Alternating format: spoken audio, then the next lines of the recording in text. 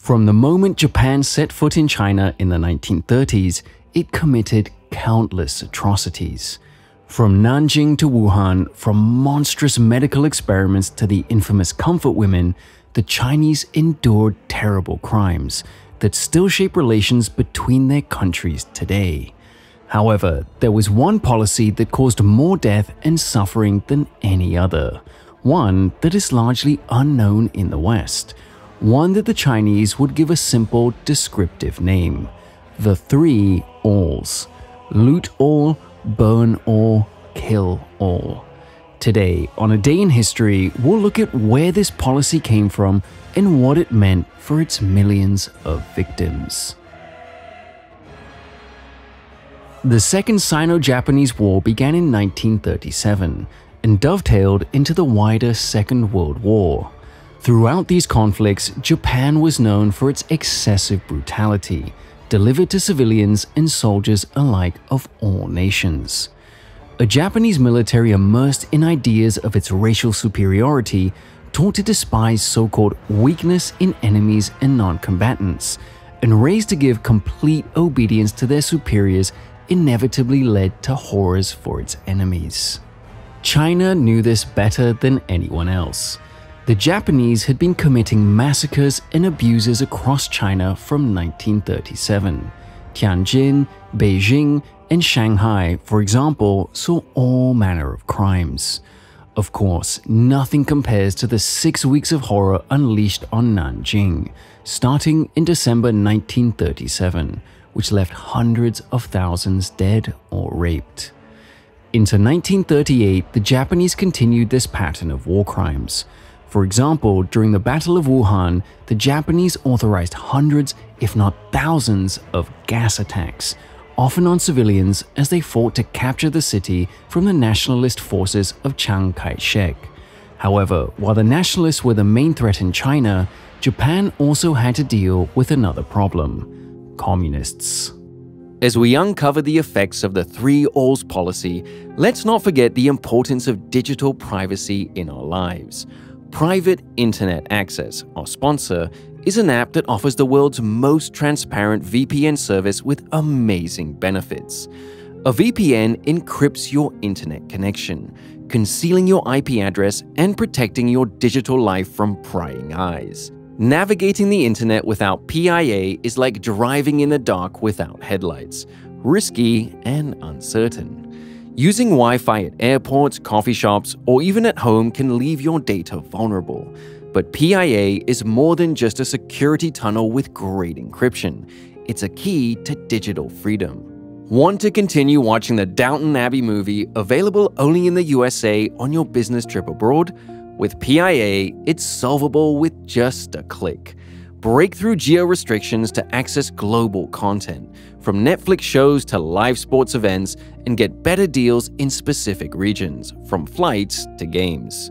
With 91 countries and all 50 US states to choose from, change your IP address and access location specific content and services. PIA is also one of the few VPNs that support P2P file sharing and has a no log policy, meaning it doesn't store your data.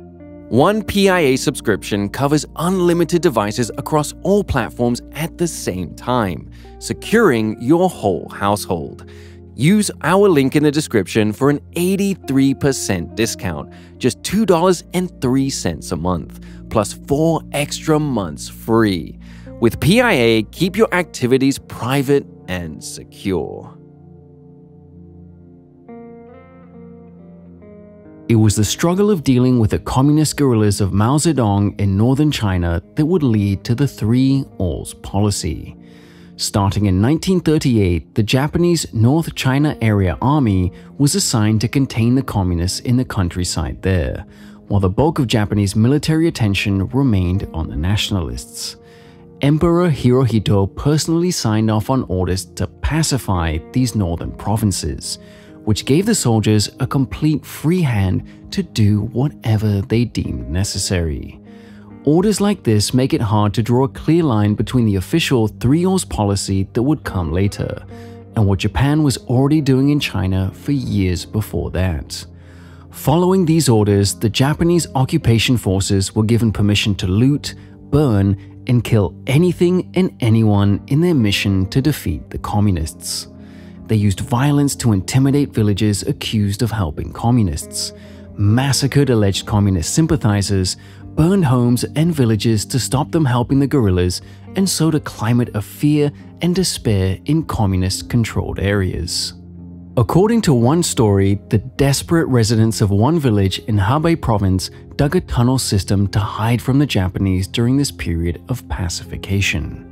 When the Japanese found out, they tried to flush them out by lighting pigs on fire and releasing them into the tunnels to terrify and burn out the occupants.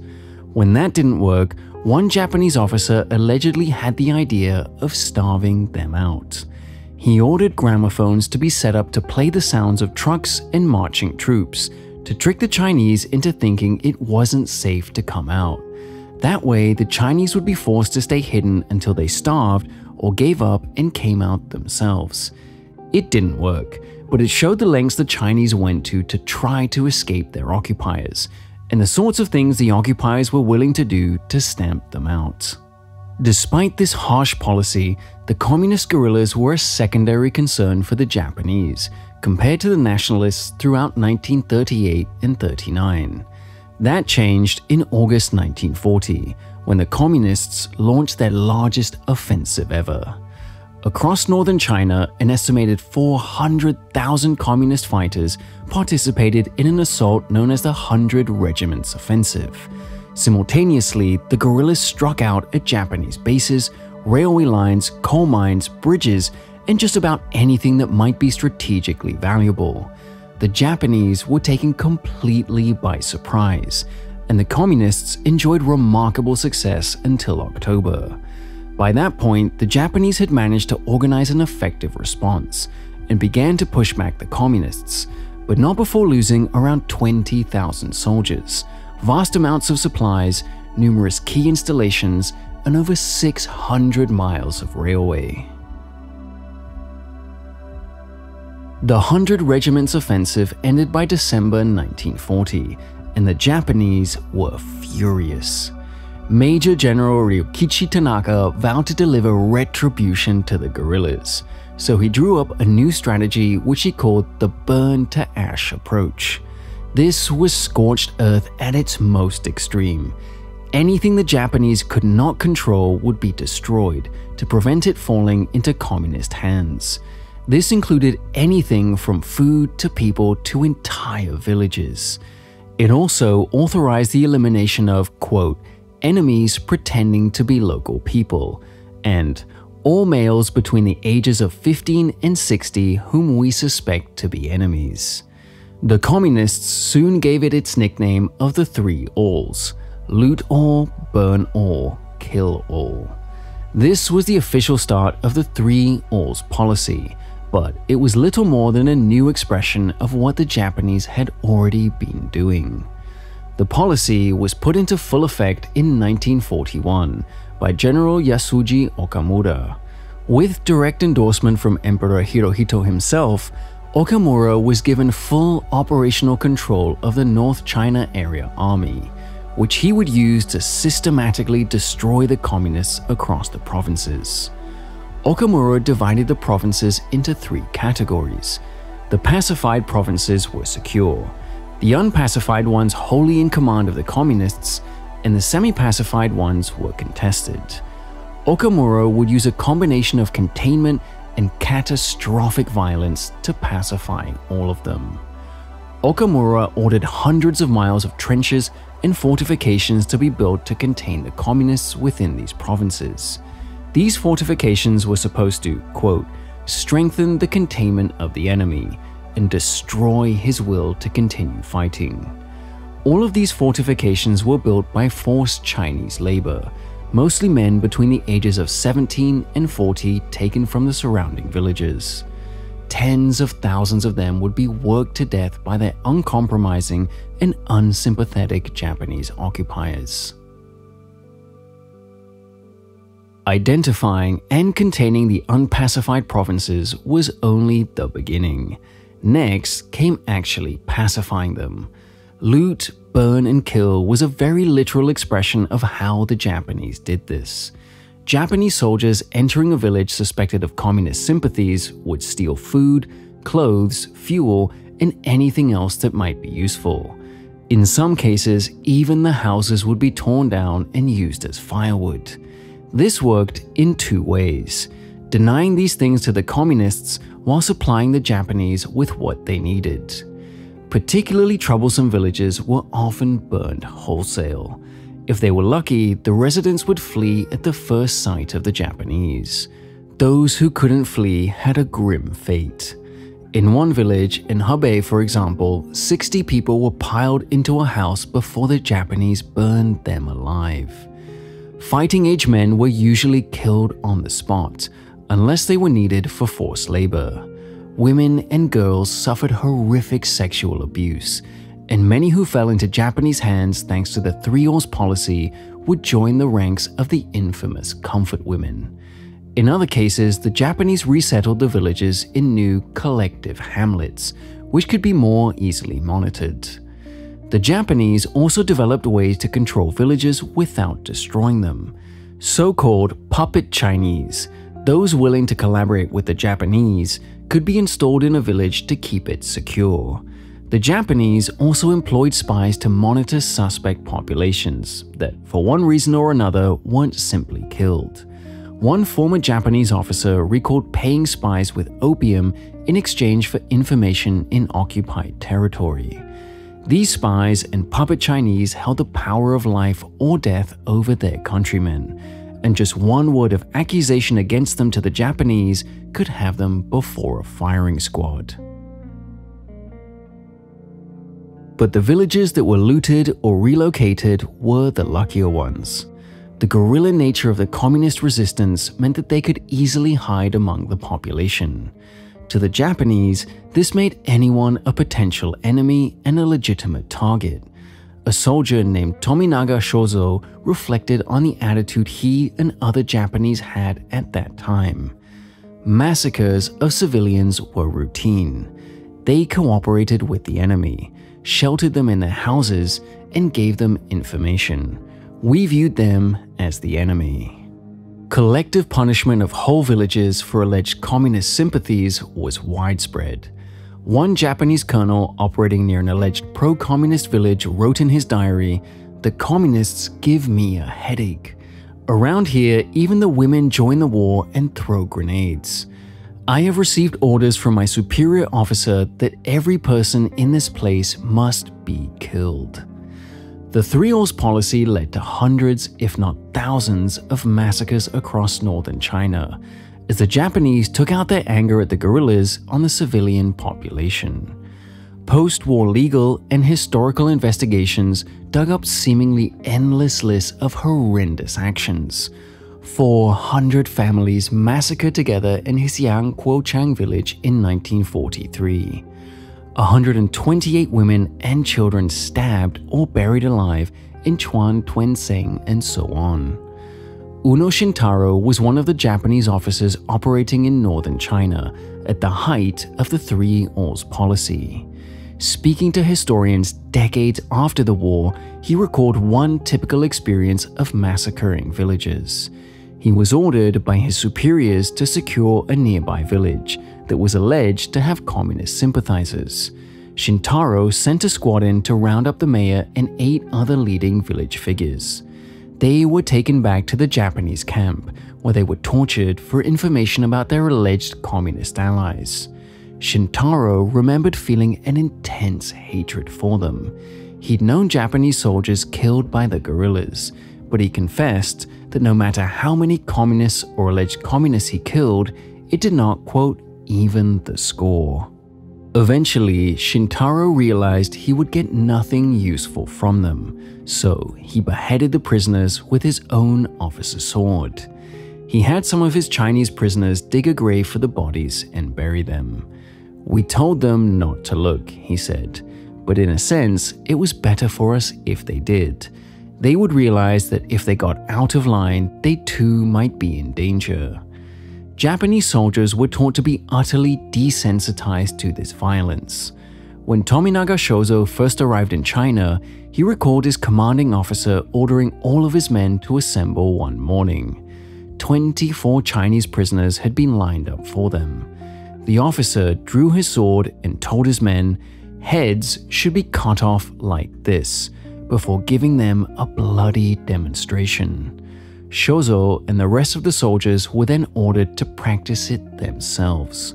Shozo claimed he was disgusted at the time, but that didn't stop him from marching out, drawing his sword, and obeying his orders. This so called kill drill desensitized recruits to death and showed the utter lack of value that Chinese lives were given by the Japanese forces. It is unknown how many villages were wiped out by this policy, but it was certainly in the hundreds, if not the thousands. There are no detailed records, no clear accounting, not even a census to chart more than a fraction of what occurred in northern China in these years. We can only see glimpses, like that given by one British journalist who visited the region in 1945. I visited towns and cities and villages, some of them completely destroyed and flattened. Villages without a living thing not a living person, not an animal or beast, nothing left, just the hand of death of the villagers. The Three Alls policy proved quite successful in dealing with the communists. By the end of 1942, the communists admitted to losing around 200,000 fighters to death, imprisonment, or desertion thanks to the policy. Of the 437 counties in northern China, the communists managed to maintain control of just 10 of them in the face of these barbaric methods. China was not alone in its suffering. A very similar policy was implemented in Vietnam during the Japanese occupation there between 1940 and 1945. There, its targets were the communist guerrillas of the Viet Minh, and the methods were indistinguishable. Theft, intimidation, murder, and massacres were the instruments of Japanese policy. Japanese authorities seized farmland for their own use, stole cattle and crops to keep them from the communists, and even seized ownership of factories and warehouses on the accusation that they were being used to help the guerrillas. As in China, systemic violence against civilians was used to stamp out communist support and spread terror among the people. The crime of aiding the guerrillas was punished with death, usually by firing squad. Even stealing food, which the Japanese widely interpreted as being a way to supply the guerrillas, warranted beheading. Boatmen accused of helping the communists were stabbed with bayonets and their bodies thrown into the river. In the town of Daitu, the mayor who was accused of being a communist ally was arrested strung up by his heels, and disemboweled in public view. Although Vietnam did not officially have a three alls policy, the logic and methods of the Japanese were virtually identical there as it was in northern China, and indeed anywhere the Japanese occupied across Southeast Asia and the Pacific. The Japanese surrender in August 1945 brought an end to the Three Alls policy, but like so many atrocities in history, it did not bring much justice. The Tokyo war crimes trials did not do enough to account for Japanese crimes in China. Later tribunals held in China punished just 500 people and executed just under 200, an inadequate measure of justice to match the litany of crimes committed in eight years of occupation. Among those who escaped punishment was Emperor Hirohito himself, who had personally signed off on the orders but was protected from any post war consequences by the Americans, who worried that prosecuting him would cause unrest in Japan. The Three Alls policy was thrown into public light in 1957 when a group of veterans came together to publish a scathing book about Japanese war crimes. The book was fiercely attacked by Japanese nationalists and pulled from publication soon after. Study of the policy only resumed towards the end of the 20th century, with historians now concluding that some 2.65 million civilians were killed by it. The Three-Alls policy is less eye-catching than the atrocities at Nanjing or the experiments of Unit 731. It is certainly less studied, at least in the West, with relatively little scholarly attention devoted to it in English, let alone popular attention. In most histories of the Second World War, it is barely a footnote, and even English language histories of the Second Sino Japanese War rarely devote more than a paragraph or a page to it. Despite being relatively overlooked, the Three-Alls policy was one of the most destructive parts of the Japanese occupation of the country. Its legacy is particularly strong in northern China and among the communists who suffered under it.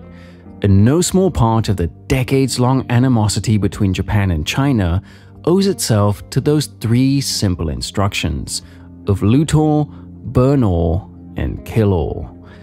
If you're interested in more about Japanese actions during the war, check out our other videos on Unit 731, Comfort Women, and the massacre at Nanjing to understand the true extent of the crimes they committed. In the meantime, help us out by leaving a like on this video and subscribe to keep up with future videos.